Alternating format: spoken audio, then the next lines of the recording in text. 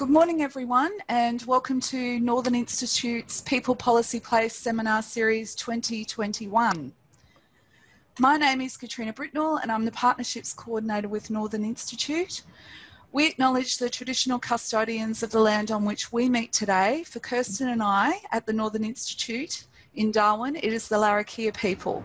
We pay our respects to Larrakia elders past, present and emerging and further extend that respect to Aboriginal and Torres Strait Islander peoples joining us today. Today we have Associate Professor Kerstin Zander presenting. Kerstin is an environmental economist with a background in agricultural science, her research looks at the many relationships between humans and nature and aspires to increase human well-being and sustainability while helping people cope with changing environments and natural hazards. Kerstin is going to be sharing her research insights around the social and economic impacts of heat in Darwin and Australia. Welcome, Kerstin, and I'll leave you to take it away.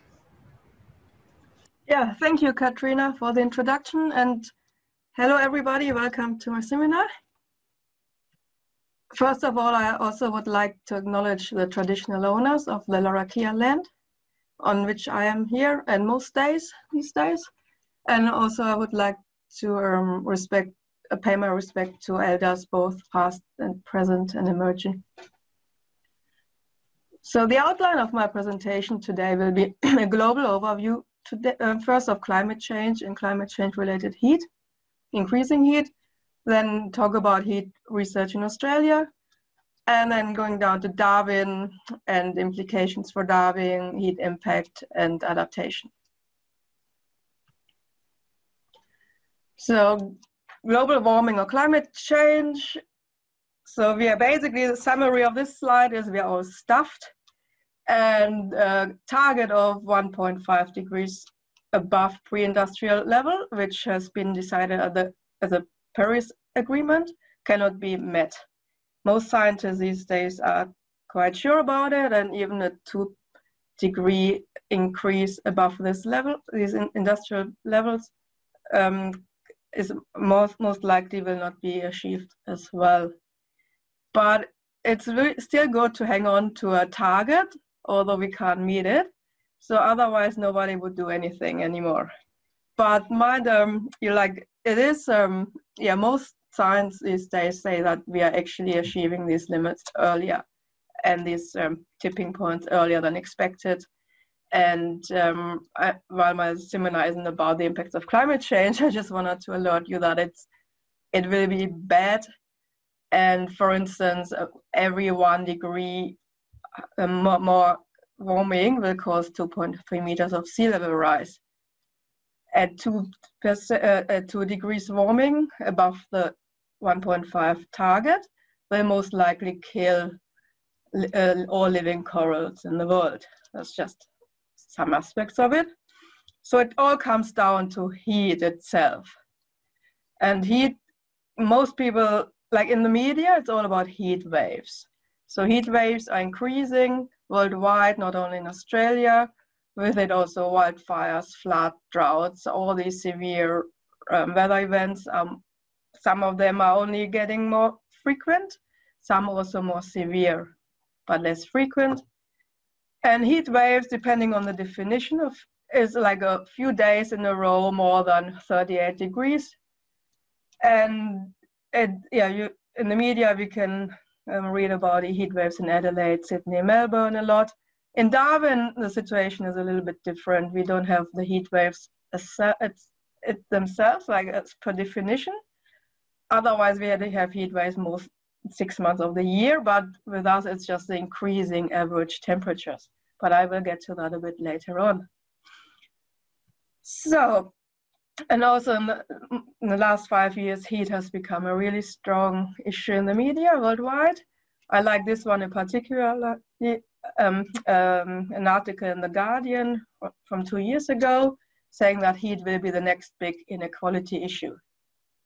Just to give you a bit of an overview, in 2003, a heat wave in Europe killed 74,000 people, 30,000 in France alone, and mostly old polar people.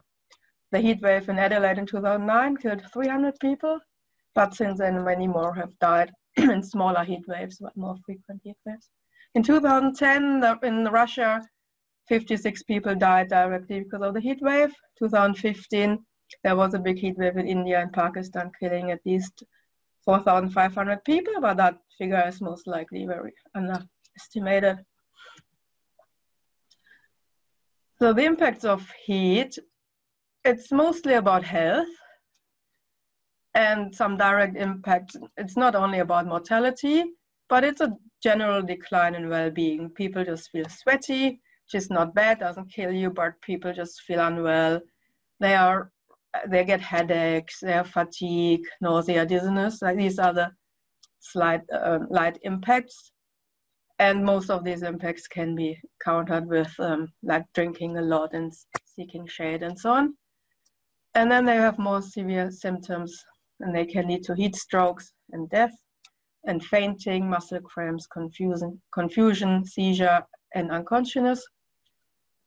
Then you have indirect impacts of heat, increasing heat, that's bad sleep, and I'm sure everybody knows that, although you sleep in air conditioning, and the sleep is not as good, and that can lead to further um, um, compromising of the health system, uh, people's immune system, and other diseases. And also, like uh, indirectly, more mosquito transmitted diseases get to places that have been too cold before. So you have a um, wider pattern of disease reaching areas where they are not used to that disease. And then there's also a lot of research on the economic impacts of heat. Um, and I'm not dealing with that in my research per se, but the direct impacts are on agriculture mostly, reduced crop production, um, reduced livestock productivity. Livestock in down south in Victoria and so on, farmers actually have to spray their cattle when they come in for milking, which might be a problem if you have only limited water availability. Um, then, yeah, you have also direct impact on the infrastructure. When on very, very hot days, you have actually just a um, tarmac melting roads melt, yeah, roads melting, train tracks melting, um, power lines melting, and especially in countries that are not used to the heat. They have, um, also in Europe, they have a very big problem with that. And that the indirect impacts of economic impacts of heat are the rising energy costs. Everybody knows that. It's not just to cool your own house, but also the governments to cool schools and, and, and um, buses and, and transport and, and systems and also um, private business to cool shopping malls and so on. Then you have a higher cost for building because you need a certain standard to actually withstand the heat. So higher cost for materials. Another indirect impact is like some people might not, not want to go to places that are too hot for tourism. So some countries or, or regions might miss out because of that. also big in the media sometimes are these so-called climate change refugees. While this term is a bit alarmistic, um, it's still happening. Like a lot of people are moving anyway because most people in the world, um, if they have the freedom to move and the money to move, they move for economic reasons. They're going for new jobs. They move to join family and but an, a recent study showed that every additional one degree warming over the 1.5 target will either display a billion people or force them to live in unsufferable heat. So basically, they live in areas where normally people shouldn't be living. And these countries that expect the highest migration flow because of heat or climate. It's not only heat, these are in the most populated countries in the world and also the poorest India, Nigeria, Pakistan, Indonesia, Sudan, and so on. That's, um, and the only reason Australia is not on this graph is because there are not enough people.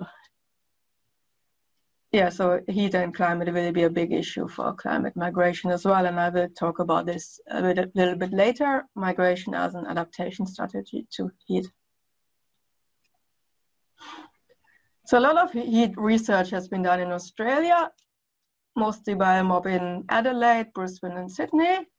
A lot of case studies looking at, again, the direct impacts of heat on mortality by counting the excess death during heat waves. That's the easiest um, way to do it. And there are a few case studies from Brisbane, Adelaide, Sydney, or the effect on um, of heat waves on mental health, the effect of heat waves on pre-existing disease such as renal and cardiovascular diseases.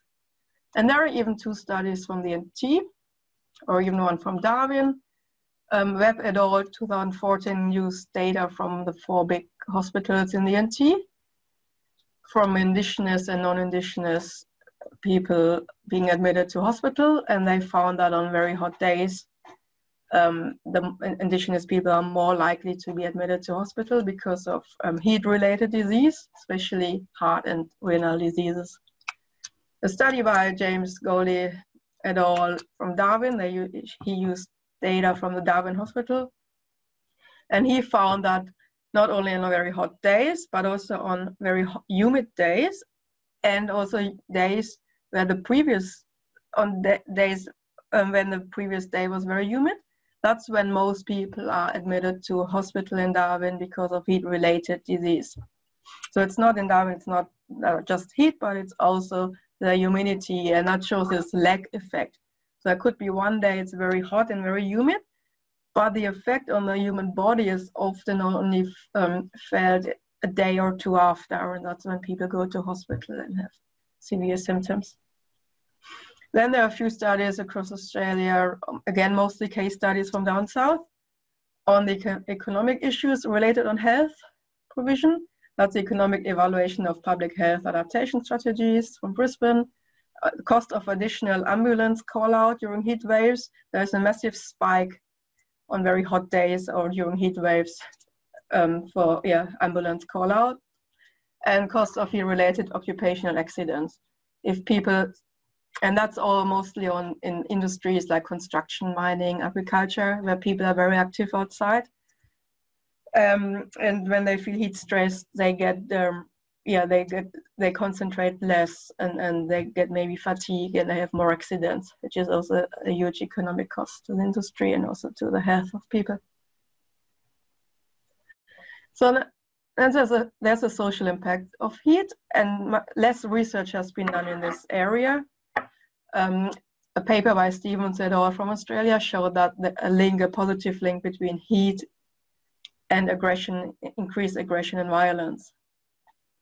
And there are very few Australian-wide studies on well-being and the socioeconomic impacts of heat. And two of the studies were run by, by CDU. We ran one study, an online study in 2014 and one in 2017, both with a random sample of 2,000 people. And in 2014, while about half of the people, the respondents felt at least sometimes heat stressed, in 2017, this um, share was up to 78%.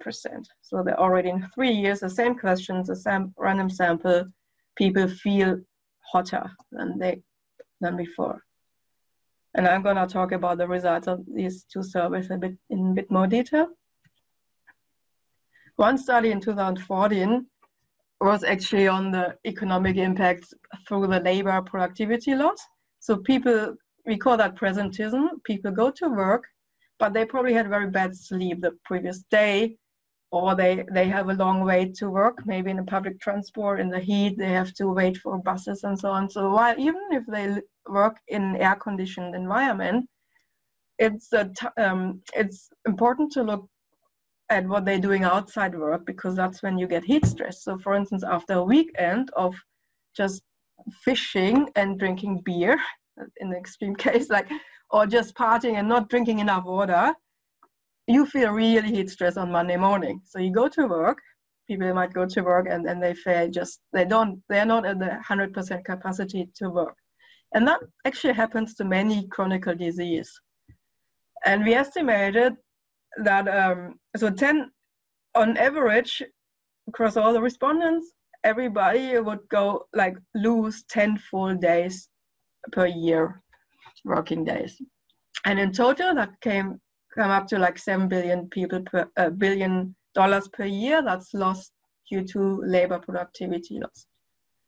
And um, while a few people, like 25% of people, compensated actually for their loss of being uh, less productive during the work by actually working longer hours, which then might decline well-being because you want to go home and see family and so on. Especially people who actually are self-employed, they don't have the luxury of just not working as much as they should could, um, so they just work more longer. Also what we found is that it's not only people in like mining industry again agriculture and, and construction that are heat stressed but no it's people who sitting inside in the offices making decisions. And our study and that, and that has been also found previously people feel like they make make actually bad decisions and that can if you're running a multi-dollar business that can actually be really bad so we found that the highest loss is actually among managers and so on. And um, yet most research is on these outdoor um, labor intense jobs and sectors. And then there's like um, so much less research in the adaptation field than the impact field. And that we find that all over like climate change research actually. Um, you know the impacts very well, but we don't really know how people adapt and cope. So adaptation to heat, we did one study and, and not surprisingly, most people just drink, rest, seek shade, swim, shifting working times, which could be a problem with noise and so on. You can't just start digging or, you know, like construction work at four in the morning in a residential area. But then people can at least in their leisure time also shift times for sports, walking the dog and so on and also something very easy and cost effective is like wearing light clothes and less formal clothes. And there's a personal a personal behavior where you can adapt, but you can also adapt how you live and at home. While most a lot of people just switch on the air conditioning, there is also something called passive cooling. They use the design of the housing to provide shade for, um, for instance, by planting trees, the orientation of the house, the ventilation, the windows, insulation, that all can contribute to a cooler home. And while we all want to live in a tropical house like this picture, lot of people said they live in a little concrete box because it's very expensive to build a tropical house here in Darwin. And also social housing and so on, they tend to be a sealed box and you can only live in it when you use air conditioning 24 hours and it's very expensive to retrofit your home as well in your garden. So you could, there's something like heat reflective coating, painting, and that you could use, but again, that's very expensive. And a lot of people, so in our surveys, very few people actually use their design in the house to adapt. Again, I, I talk about that a bit later. But the good news is, like everybody actually can adapt to heat. And this is a major leg of research actually, because in, in the sports science, for instance, a lot of research is being done on how sport people, professional athletes, how they adapt to heat. So if there's Olympic Games in a very hot country, the athletes they they um, prepare months before and train in that heat environment. So they people say like you can um, it takes about one to two weeks um, to get a, used to the heat. So, but that you need to be at least two hours in the heat every day to get used to it. And everybody, unless you are very old and maybe sick, you can adapt. And most newcomers to Darwin, they don't know that. A lot of people, they come a short-term contract, two, three years, they don't know that they, their body can actually adapt.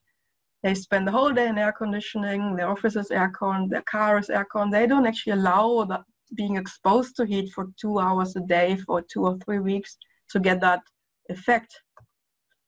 And that's why we need a more awareness raising. And once your body is actually used to it, you can lose that effect as well. And that's a problem with the fly in, fly out people. They get used to it for a few weeks, then they fly back into a cold climate, and then they need another two weeks to get adapted to it. But once, if you live in Darwin long term and you are adapted, then usually the effect should hold on and your whole well being should be higher my theory. And yeah, so why are we actually now gonna come down to Darwin? Because um, yeah, Darwin is a really interesting case for heat research, and the reason we do it here, it's not only because we live in Darwin, but it's it's a, also a perfect example because what we can learn here from the tropics is applicable for so many regions in the world. A third of the world's population actually live in the tropics.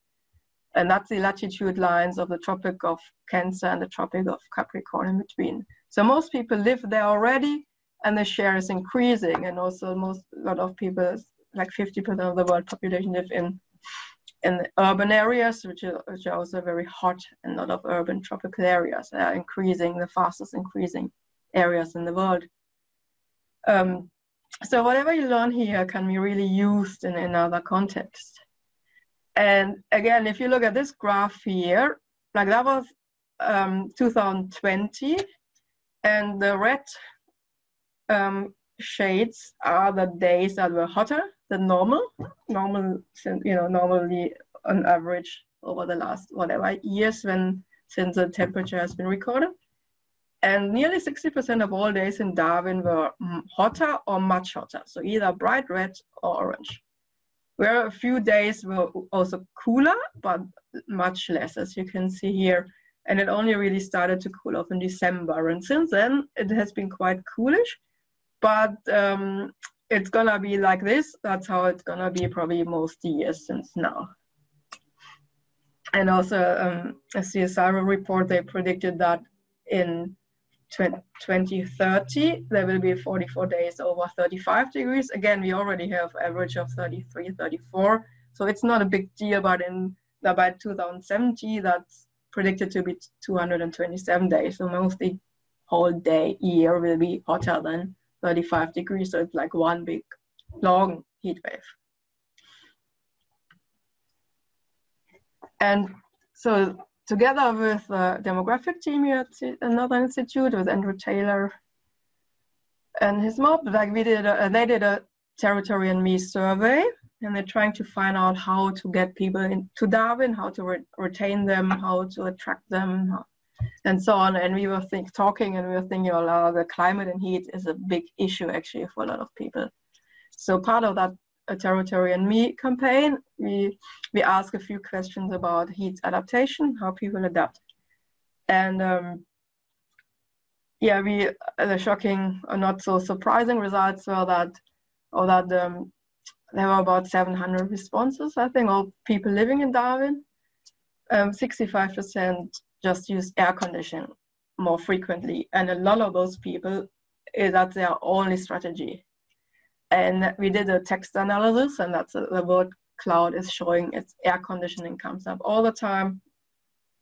And also, what was a bit shocking was that you other adaptation strategies, again, like staying inside, seeking shade, and the usual ones, but young people were more likely to stay inside as well than older people. And this is a picture for like that's how most cities also in Asia look like. That's a picture I took in Manila somewhere. The problem of over reliance on air conditioning is, again, it makes the cities much hotter. The uh, urban heat island effect. It actually reduces your own ability to get used to the heat, and also so it creates all sorts of health problems like bad sleep, like you get dry eyes, dry skin, allergic allergies can be um, heightened by using air conditioning by Um, and also, what the survey also really showed is there's a big equity issue in heat adaptation in Darwin. So while people all said they use air conditioning more often, and going back to my first slide, that's a, one of the indirect impacts of the economic impact. So the electricity bills are very high for many people, and that came up together um, air conditioning and bills came up in the text analysis together a lot. And also what came up is solar panel installation.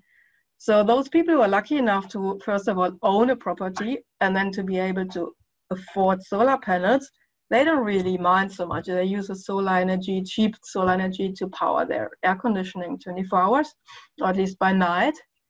and yeah, 20% of the respondents, they mitigate the high cost of air conditioning by installing solar panels. And renters are disadvantaged, again, like all these people in their boxes are disadvantaged, although they might not pay the full uh, electricity bills. But um, yeah, it's uh, like showing that um, it's a matter of money actually to adapt to heat, and that's only getting worse. And also having pools and so on, and, and not everybody can afford that, and rent is increasing anyway. And then renting a place with a pool and so on. And that was amazing. Well, yeah, we were hoping to find out about the adaptation, how people adapt in Darwin. All we got is like really what are the problems with it, the, the limitations. And if it's all about air conditioning, it will be a huge yeah, equity issue. And I would like to talk about the migration as adaptation strategy as well. That's my last um, point, really and um, so like again it's a global problem and but in australia itself also there will be places that you can't live anymore in say 30 years 50 years or might also be in 20 years and in the in the past 20 years australia was big in these retirement movements so people are um, moving to the sea the sea changers or the tree huggers moving into the um, areas with bush which are now might be more prone to fires and so on. And there was this whole yeah movement of we love yeah, going where the climate is something positive, climate and weather and nature is so positive, people want to live there. And now the research and people's attitudes are going in a different direction, so it's actually too hot. You know, all these um, cities and along the east coast where maybe retired people live and becoming so hot that one day they're not gonna be moving there anymore. So as the climate year becomes more volatile and extreme weather events more frequent, it's changing from yeah natural hazards. It's actually a problem when I when people choose their locations to move to. And we had a study, again, an online study around this, and um, while the most the reasons to move are still all very much about economic and family issues, natural hazards then ranked actually after these issues. They ranked before um, amenities, before even um, essential care like health care and, and, education and so on in schools. So that's gonna, and, and again, this is gonna be a, a major, not like the main reason for most people, but it's always there um, climate and, and natural hazard incidents when people make location choices. And another study of, um, we did um, was in 2016, where we, an Australian-wide study, where we asked people directly, are you intending to move to cooler places because you feel heat stressed where you are? And um, there was 70% of the sample of about 2,000 people said yes, they really make already um, plans to move somewhere else, um, which is it's not too high, but realistically, and um, but the figure got really increased a lot among young people. And young people who were male people who uh, men who worked in in um, labor intense industries so if you're a construction person or something like this, you don't want to really work in or live in areas that are very hot. And that again can can lead to labor shortages in areas that are very hot. So Darwin already has a labor shortage, skilled labor shortage, and, and people don't want to come here because the job they're doing is so intense and outside, and they know about the problem of heat. Although you can use get used to it, there's still a limit for your body that you can't cope. And another study we did in Darwin was, um, and again, yeah, yeah, the reason we did that study is to understand why people leave and what to do to keep them in Darwin. So if they're happy, if they're not heat stressed, they're likely to stay on and bring their families and so on. And so we conducted another study in, in October 2019, the latest one, and, and we distributed 4,000 hard copy questionnaires across the greater Darwin region. And in Darwin alone, doing research is very hard through an online survey or so on because the sample is very small, the sample frame. So we distributed these surveys, and then people had the choice of either doing it online or mailing back the questionnaire. We got a reasonable response rate of about 18%, 700 responses. And the question was really there, would you leave or are you intending? No, it wasn't that. We used the stated preference methods, uh, like a best worst scaling, where we asked respondents to trade off different reasons for why they would move or leave Darwin. So, um, and this graph shows that why again employment, family and friends and lifestyle issues are the most important reasons. One is the most important, 10 the least important, um, especially for young people. The middle aged people, heat comes in there as a third reason already after family and employment. But then when you look for the at the older segment of the population in Darwin, heat ranks number one. So if older people leave, then it's because of heat. And that's, um, yeah, it's not surprising because a lot of people want to retire in a cooler place, but it's still shocking how heat came up as such a big issue and you want to keep or Darwin want to keep the older generation. They have a wealth of traditional knowledge, like like knowledge, um, um, like like um, volunteer work, like like older people are such a um, valued um, segmentation, a segment of the population. So you don't want to lose those people. And often, if the older uh, people once they are retired move back down south or something, they might take their families with them. So yeah, that's really something where maybe Darwin should be working at the government on how to to provide heat mitigation strategies for the older people. Otherwise, they might all leave if they can. Yeah, so that was my last slide. Um, thank, hope that wasn't too short. Um, thank you for listening, and yeah, there's a lot of citations, uh, and yeah, open for questions. Thank you so much. That's really interesting. I was just thinking maybe um, this has a lot to do with the fact that um, they're saying that uh, Tasmania house prices have gone up 30% in the last year. Yeah. Uh, everyone's moving to Tasmania, maybe. Yeah, that can come up, comes up a lot when we ask about destinations where you would move to. Yeah. Comes, Tasmania comes up a lot. Yeah. Um, okay, we do have one question um, from Kelly, and she was uh, asking about your slide where you mentioned um, in order to adapt to heat continuous exposure. So she oh, says, I'm wondering if the two hours of continuous exposure in order to adapt to heat mm-hmm. needs to be continuous or can it be two hours spread over the day? It's a good question. Good question, and I must say I don't really know. That's uh, I don't know. They just says ideally two hours every day. I I honestly don't know how that works really. I, can't imagine it's five minutes, five minutes, five minutes. I don't think that works really, but I can't. that's too much medical, you know, research for me. I don't know. Um, sorry but to be on the safe side, do it two hours every day, like in a row. And uh, we have another question from Bernadette uh, saying, and does the time of day make much difference? Like, do they need to be out between 12 and 2 or? Uh, or again, I, uh, I haven't thought about that really, but um, yeah, I guess just exposed to heat.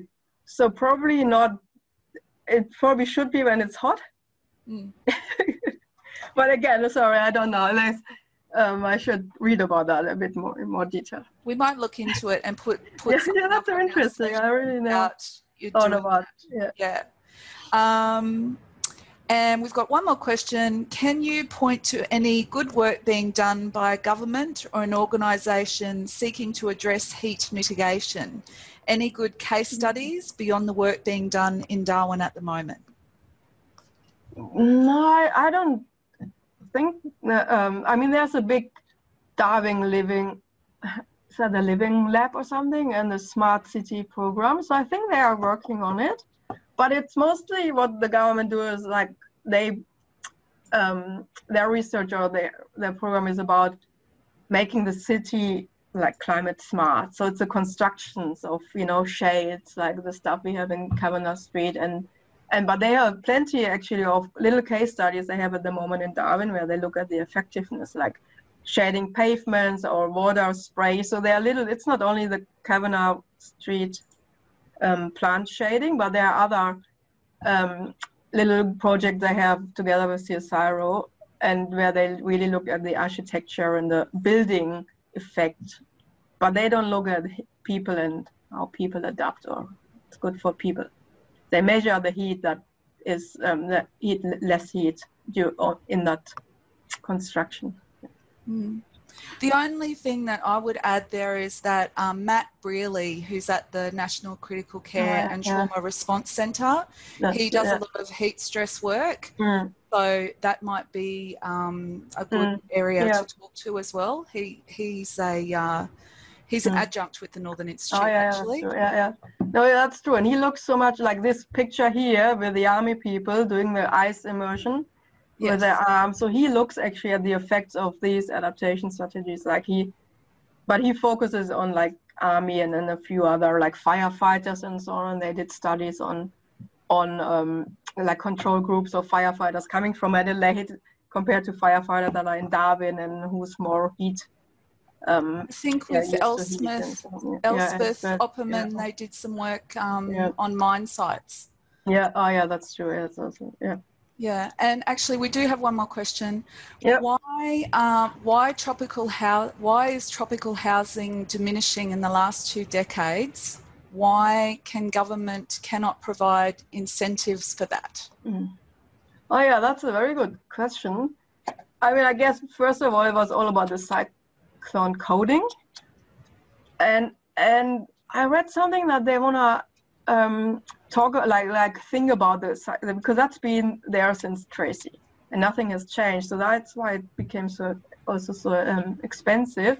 And and how does the government then build? And most people were just the little boxes. But I think they are changing something about these um, certificates and cyclone uh, coding and so on to make it easier or less expensive to build tropical. But I think it's just the labor because there's so much more effort to build up than just down a little mm. one story um, house. And I mean, incentives, sure, they could probably go give like interest free loans and, and all that, but it's, I think it's just so much more expensive. Uh, it's hard to give. Yeah, uh, yeah. So in, incentives, and again, if you would get incentives, it's a bit like the incentives for putting up solar panels. You give incentives to those people who can already afford a house in the first place. Right. Vicious circle. And yeah, and the, for the social housing and so on, the government, sure. I mean, there have been studies also with indigenous communities. How do they want to live? And they want something open and so on. And then the government goes and builds a box. And I don't know why. And it's not even ex- cheap, it's also expensive. And I don't know why that is. okay. Um, that was the last question we have. So I just want to say thank you so much, Kerstin, for presenting for us today. Um, we had quite thank a few participants in the group, which was great. And I've put up your contact details. Um, and I'll also, if you go to the Northern Institute website, which is cdu.edu.au forward slash northern hyphen institute, uh, and go to the People Policy Place seminar page. Kerstin's PowerPoint will is already uploaded there.